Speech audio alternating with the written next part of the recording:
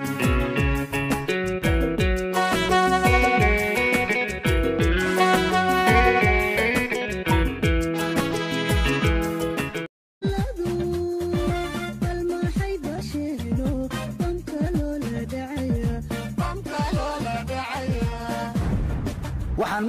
maqli jiray hashumaankayga gadaya ma masaaray laqbay maxaad ku keentay? Masiibada muqdisho u gaarkaa waa maxay? Waa midaan la yaabay. Hoteellada iyo maqaayadaha muqdisho iyo meelaha ay bulshada isugu yimaadaan maxay galabsadeen? Malaha bilicda muqdisho dad baa u arka inay baaba'ooda tahay. Wallee way soconaysaa balaayadu haddaa lagu baraarugin. Xamaray tasho bulsho yahay xisaabtama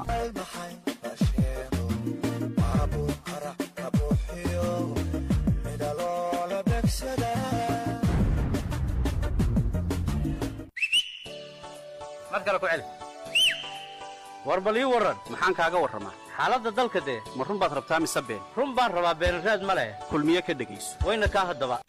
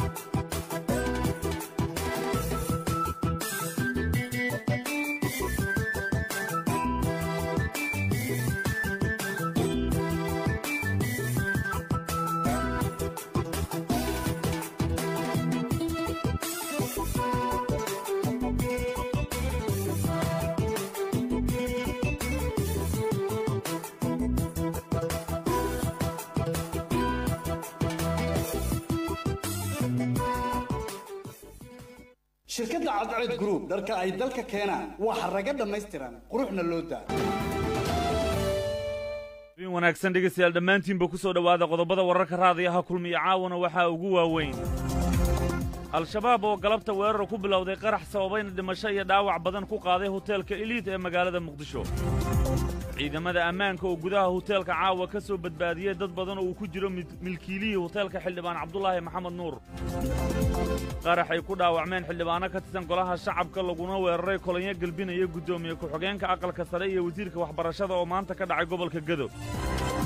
Madaxweyne dani oo sheegay inuu ka fiirsanayo ka qaybgalka shirka dhuusamareeb saddex xilli madaxweyne farmaajo uu dhuusamareeb u tegey ka qaybgalka shirkaasi wafdi uu hogaaminayo guddoomiyaha gobolka banaadir oo galabta gaaray magaalada dhuusamareeb shir u dhexeeya wasiirrada kalluumaysiga iyo waa wasiirrada kalluumaysiga iyo khayraadka badda maamul goboleedyada iyo dowladda federaalka oo maanta muqdisho ku soo gebagaboobay iyo faransiiska oo dalbanaya inaan xabsiga laga sii deynin qaar ka mid a maxaabiista ururka taalibaan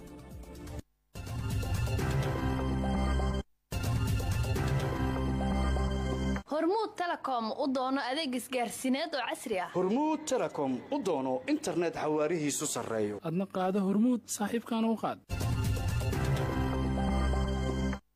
Waa habeen axada taarikhdu waxay ku beegan tahay lix iyo tobanka bisha siddeedaad ee agosto sannadka laba kun iyo labaatan. Cabdiqani cabdulaahi ibraahim ayaa faahfaahinta u diyaara. Axmed siciid axmed waad mahadsan tahay habeen wanaagsan dhegaystayaal kuna soo dhowaada qodobadii aad maqasheen oo faahfaahsan. Aan ku horrayno al-shabaab ayaa gelinkii dambe ee maanta waxa ay weerar ku bilowday qarax gaari islamarkaana sababay dhimashada iyo dhaawaca dad badan oo mas'uuliyiin ay ku jiraan waxa ay ku qaadeen hoteelka elid ee muqdisho ku yaalla gaar ahaan xeebta liido ciidamada ammaanka ayaa gudaha hoteelka la weeraray waxa ay ka soo saareen sidoo kale dad badan oo uu ka mid yahay milkiilihii hoteelkaasi xildhibaan cabdulaahi maxamed nuur. Axmed siciid axmed hanoo faahfaahiyo abbaarashantii galabnimo ee maanta debley hubaysan oo ka tirsan kooxda shabaab ayaa weerar ku bilowday gaari laga soo buuxiyey waxyaabaha qarxa. Waxay ku qaadeen hoteelka elid oo ku yaalla xeebta liido ee magaalada muqdisho. Kaas oo xilligu weerarka dhacaya ay ku sugnaayeen mas'uuliyiin dowladeed iyo dad badan oo shacab ahaa. Kadib qaraxa debley hubaysan oo gaaraya ilaa afar ruux ayaa gudaha u galay hoteelka waxaana uu dagaal dhex maray iyaga iyo ilaalada hoteelka intii ka badbaaday qaraxa dagaalkaas oo ilaa hadda ka soconaya gudaha hoteelka inkastoo markii dambe ay si gurmada hoteelka u tageen ciidamada ammaanka gaar ahaan kuwa booliiska weerarka waxaa ka dhashay dhimasho iyo dhaawac badan oo inta ugu badan wax uu sababay qaraxa koowaad oo lagu dhuftay derbiga hoteelka xilli barxadda hoteelka ee dad badan ay fadhiyeen. Dadka la ogyahay ee ilaa hadda weerarkaasi ku dhintay waxaa ka mid ahaa cabdirasaaq cabdulaahi cabdi oo ahaa agaasimihii xidhiirka gobollada ee wasaaradda warfaafinta daahir cali oo isna ahaa madaxa qaybta ka hortagga askaraynta carruurta ee wasaaradda gaashaandhigga soomaaliya iyo xubno kale oo badan. Dadka weerarkaasi ku dhaawacmay. Iyana waxaa ka mid a waa wasiirkii howlaha guud ee galmudug axmed washington sawirqaade maxamed caraayo oo ka tirsan wasaaradda warfaafinta soomaaliya iyo fanaanadda faa'isabella oo iyadana ka tirsan kooxda heegan ee ciidanka booliiska. Tirada dhaawacyada ilaa hadda la xaqiijiye waa afar iyo labaatan ruux inkastoo tiradu intaasi ay ka badan tahay. Markii uu qaraxu dhacay kadib jawiga goobta sidan ayuu ahaa ورخفته خفته خفته نجي التونسي وريت التونسي نجي التونسي وربي ركعتي وريت توسي. التونسي وريت التونسي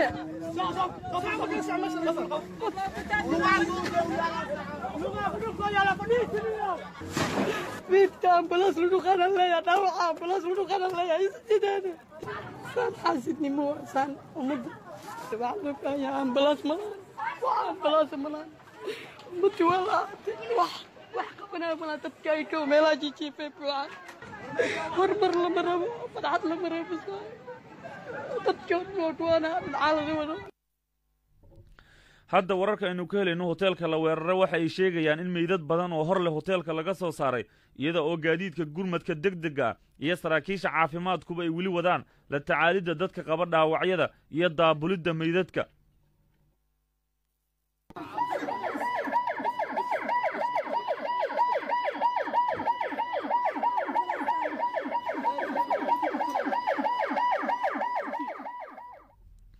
sidoo kale ciidamada ammaanka ayaa iyaguna weli wada ugurmashada dadka ku go'doonsan gudaha hoteelka waxaana ay gudaha hoteelka ka soo badbaadiyeen ilaa dhowr ruux uu ku jiro milkiilihii hoteelka xildhibaan cabdulaahi maxamed nuur. Qaar ka mida dadkii la soo badbaadiyey waxay sheegeen in gudaha hoteelka gaar ahaan qaybta sare ay weli saaran yihiin dad badan oo shacaba iyadoo halkaasi sidoo kale ay ku sugan yihiin ilaalada hoteelka oo dadka ka badbaadinaya debleyda weerartay hoteelka. Qof ka mida dadkii la soo badbaadiyey ayaa isna nala hadlay alxamdulilaahi meesha khasaare iyo waxaan la filanayn inaa ka dhacay. Alxamdulilaahi dadna waa ku dhinteen dadaa ku baaba'ay. Dadna weli gudahay ku jiraan dadna way soo badbaadeen. Ha loo soo duceeyaa dhahaya inta la soo badbaadi ma la qiyaasi karo waxaan arkay caloolyow iyo caloolxuma meesha taallo dad googo'a taallay. Oo qaraxa meesha lagu dhuftay keliya. Dadna waa soo galeen. Marka meeshii waa soo arki doontiin kolley meesha waxaa ka dhacay wax la qiyaasi kara maaha oo mahadsantiin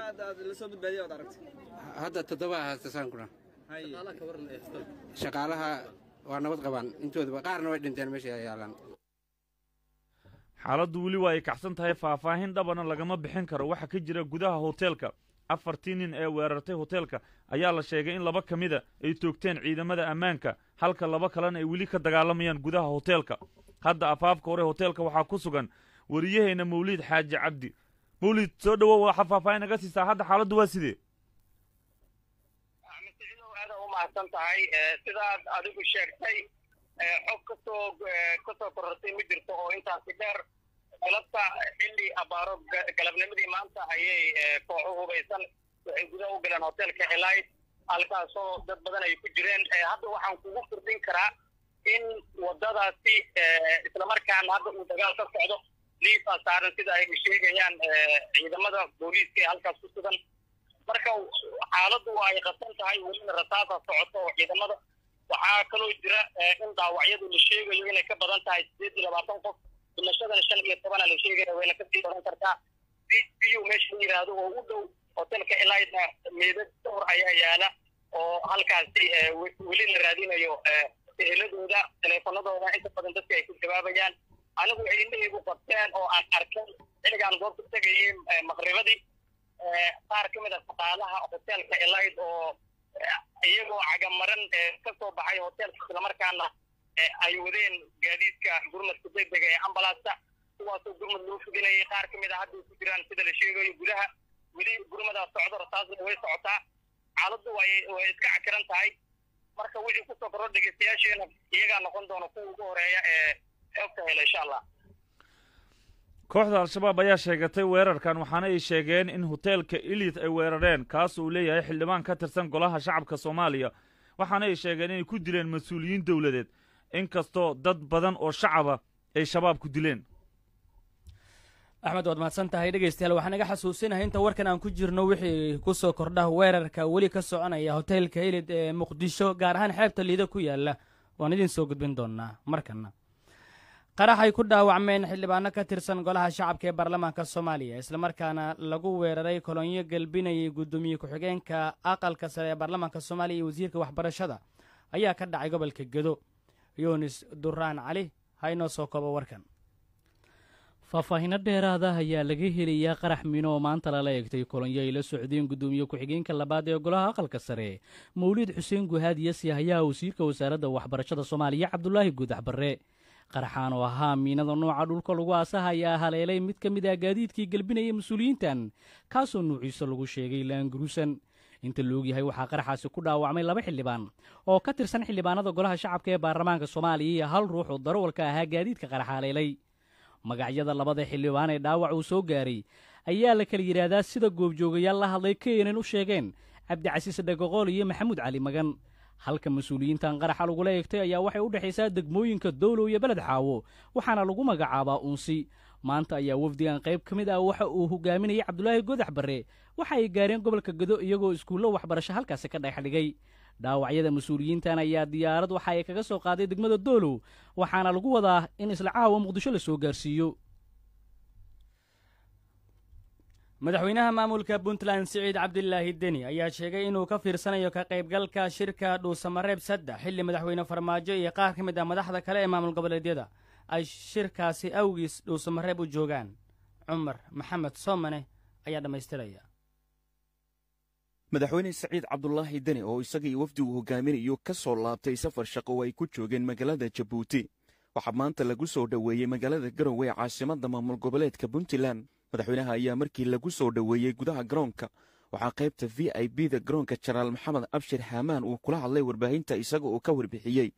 Waxyaabihii kaga soo qabsoomay safarka uu ku tegay dalka jabuuti isagoo sheegay in madaxda dalkaasi uu kala soo hadlay arrimo dhowr ah oo ku saabsan xaaladda iskaashiga iyo wada shaqaynta labada dhinac. Madaxweyne siciid cabdulaahi deni ayaa dhinaca kale sheegay in puntland ay ka fiirsanayso ka qaybgalka. Shirka lagu qabanayo magaalada dhuusamareeb ee caasimadda dowlad goboleedka galmudug kaasi oo halka ay ku yeelanayaan madaxda dowladda soomaaliya iyo dowlad goboleedyada dalka. Siciid cabdulaahi deni ayaa sheegay in tan iyo markii baarlamanka soomaaliya ay kalsoonida kala laabteen xukuumaddii uu hogaaminayey ra'iisul wasaare xasan cali khayre islamarkaana uu sheegay intaasi kadib aanay jirin xukuumad haysata. Kalsoonida golaha shacabka baarlamanka federaalk soomaaliya puntlandna ay dhinaceeda ka fiirsanayso ka qaybgalka shirkaasi. Madaxweyne siciid cabdulaahi deni wuxa uu sheegay in iyada oo laga duulayo wakhtiga kala guurka ah ee dalka uu marayo aysan puntland habbooneyn in ay ku degdegto ka qaybgalka wejiga saddexaad ee shirka magaalada dhuusamareeb xaaladaha ka soo cusboonaaday siyaasadda soomaaliya isbedelada ku dhacay shirkii dhuusamareeb tu ka dambeeyey ee dalku galay dabcan xukuumaddii hawsha waday fulintina looga fadhiyo ayadii meesha ka runtii hadday taas baxday waxaan sugayn annagu in xukuumad kale iyo ra'iisul wasaare kaleoo bedelo hawsha sii wada inay meesha soo baxdo. Waxaa muuqanaysa inaan weli dhinacaas la aadin dhinacyo kalena la aadin. Runtii arrintaas puntland weli waa ay tashi bay ka fiirsanaysaa wayna ka tashanaysaa. Waxaa kale oo muhiim ah khudbadii madaxweynaha shalay uu akhriyey oo uu ku bayaaniyey hadallo badan iyadan waxay u baahan tahay in si taxadara loo eego. Dabcan annagu waxaan aaminsanayn in marxaladihii hay'adaha sharciga ah ay gabaabsi yihiin waddadii saxda ahayd oo sharciga ahaydna la gaari waayey. Shirka ka qabsoomaya dhuusamareeb sida khudbada madaxweynaha ka muuqatay waxaa muuqanaysa taladii dalka inay baarlamaanka u taallo baarlamaanka laga sugaayo isaga uu go'aanka gaari doono. Puntland markii xal siyaasiya dhaba u jiro diyaar bay u tahay inay xalka siyaasiga qaybteeda ka qaato hadduu xal sharciga jirana sharciga ayay u hoggaansan dumi doonta haddii ay aragto wax sharciga khilaafsan ama ay aragto in sharciga la baal marayana qoraahdeeda ku habboon ayay odhanaysaa wakhtiga ku habboon. Siciid cabdulaahi deni ayaa sheegay in tan iyo markii la aas-aasay maamulka puntland sideeddii oo labayo labaatan sannadood ay ka soo wareegatay ay iminka nidaamka dimuqraadiyadda ee looga gudbayo habka waxqaybsiga beelaha afar dhibic shan puntland ay xilligan ambaqaaday taasoo uu ku tilmaamay in xisbiyada siyaasadeed ee ka dhisan puntland shahaadooyinkoodii ay qaateen magaalada muqdisho markan haddii aan dib ugu soo laabanno maanta waxaa ku soo gabagaboobay shir u dhexeeyey wasiirada kalluumaysiga iyo khayraadka badda dowlad goboleedyada dalka ka jira iyo dowladda federaalka ee soomaaliya. Kulankan ayaa looga hadlay inta uu socday arrimo badan oo ay ka mid yihiin heshiiska khayraadka ama heshiiska khayraad qaybsiga mashaariicyada jira iyo sida loo wada qaybsan karo.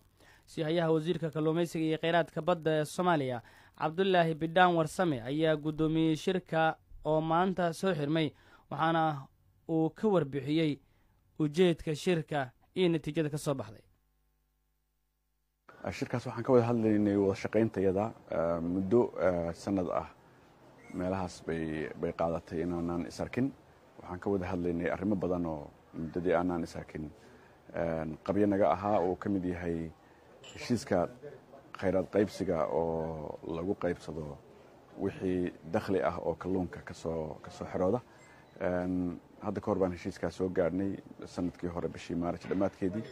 Marka kumeel gaadh buu ahaa kumeel gaadhnimadii in laga saaro waa ka wada hadlaynay haddana waa ka ballannay oo shirar kale aan qabsan doonaa haddii ilaha idmo waxaan kaloo ka wada hadalay mashaariicda iyo horumarka wasaaradda kalluumaysiga ka jira iyo wixii aan ku soo kordhinay iyo waxaan ku soo kordhin doono. Dowlad goboleedyada magaalooyinka ku yaalla oo mashaariic kalluumaysi ay ka socoto waa ka wada hadalay halkay marayaan. Warbixino noocaasa buu shirku u badnaa. Waa isku afgaranay waxyaabihii aan ka wada hadalay oo dhan.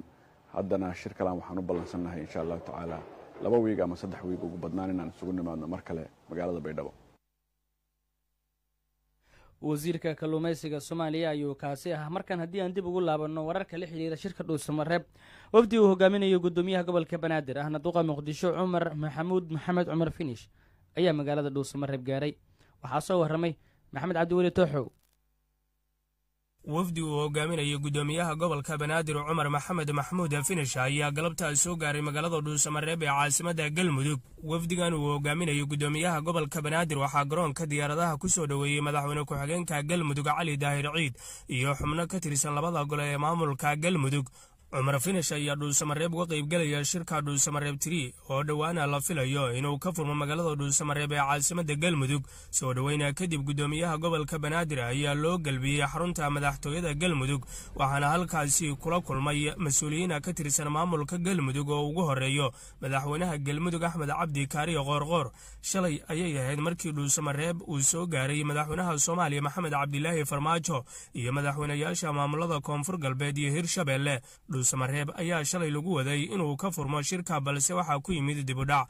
Weli magaalada sooma gaarin madaxweynayaasha maamulada jubbaland iyo puntland. Lama oga halka uu ku dambayn doono mustaqbalka shirka dhuusamareeb oo falanqeeyaasha siyaasadeed aaminsan yihiin inuu fure u yahay wakhtiga kala guurka ee dalka ku jiro maxamed cabdi